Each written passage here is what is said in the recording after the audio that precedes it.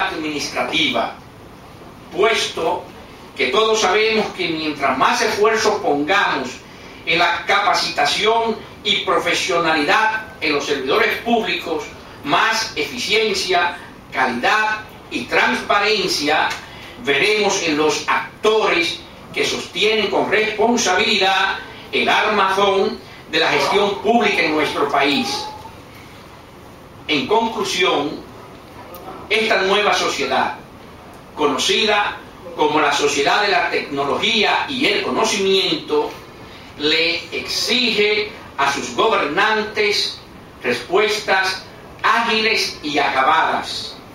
a ras con los nuevos tiempos, para no estar a la zaga en la lucha contra la corrupción administrativa y por la presencia activa y perdurable de una verdadera política nacional de transparencia, basada en una cultura y valores éticos en la función pública, bajo el entendido de que ésta ayudará al desarrollo y crecimiento social y económico del país.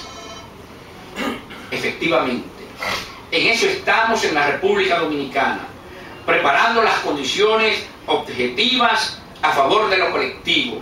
sin escatimar esfuerzos y sin desmayar ni un instante, sin prisa para evitar los errores, pero sin pausas para poder disfrutar los aciertos, aceptando con responsabilidad los nuevos retos y los desafíos globales, sabiendo que aún nos quedan tareas no cumplidas en este nuevo paradigma de gobernabilidad democrática. Para finalizar, confieso que lo más deseado por mí esta noche es que ojalá y la inmensa mayoría de los funcionarios de niveles altos y medianos al igual que todas las personas interesadas en el tema de la corrupción y la transparencia, de la ética en la administración pública, lean esta obra para beneficio de la familia y de la sociedad. Gracias del alma por la atención prestada.